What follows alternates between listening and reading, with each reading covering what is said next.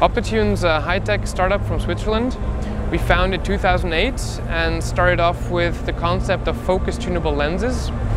Uh, now in the meantime we have two product lines, um, the lenses and also laser speckle reducers.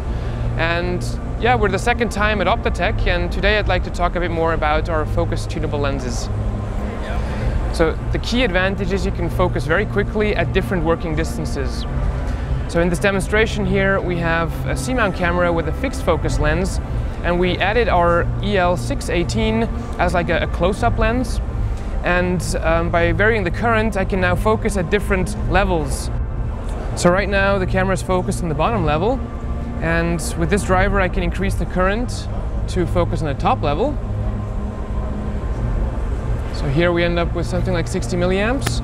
And now, when I switch between the two levels, you can see the image just stays in focus. So this shows that we have no hysteresis when we switch between different levels of current. Um, now what I can do with this demo is apply a step function.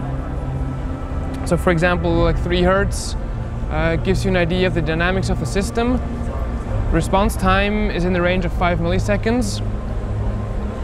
And now if I increase further, for example, to something like you know 50 hertz, um, we're now actually faster than the, the camera but you can still see from, uh, from the pictures that there's frames that are in focus, which shows that we are really, you know, get the, the 50 hertz of the lens.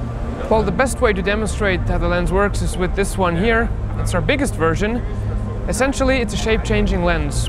So there's a membrane, and below that is a liquid. And now when I turn this ring, I basically push a ring onto that membrane, and we get uh, a lens. Essentially, I can also do this by just pushing, but that's the whole trick, right? There's, no, there's not much magic. There's a membrane, there's a liquid, and uh, we can change the shape of the lens by applying a pressure. Um, this version is here for um, large lamps. Uh, this one here we made for smaller lamps, same principle. You rotate a ring and you can change the shape of the lens.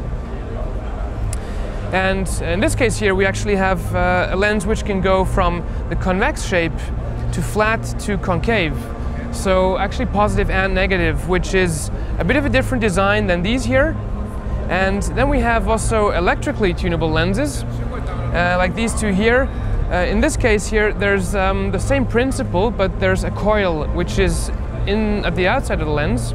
And when you put current through the coil, it pushes down on the membrane and it deflects. So kind of the same principle as this one, but uh, controlled by current.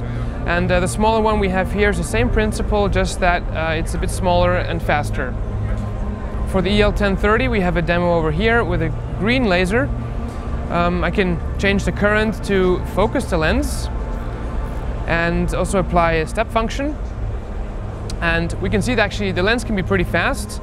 Um, the EL1030 is in the range of 10 millisecond response time uh, versus actually the small one is in the more in the range of 5 milliseconds.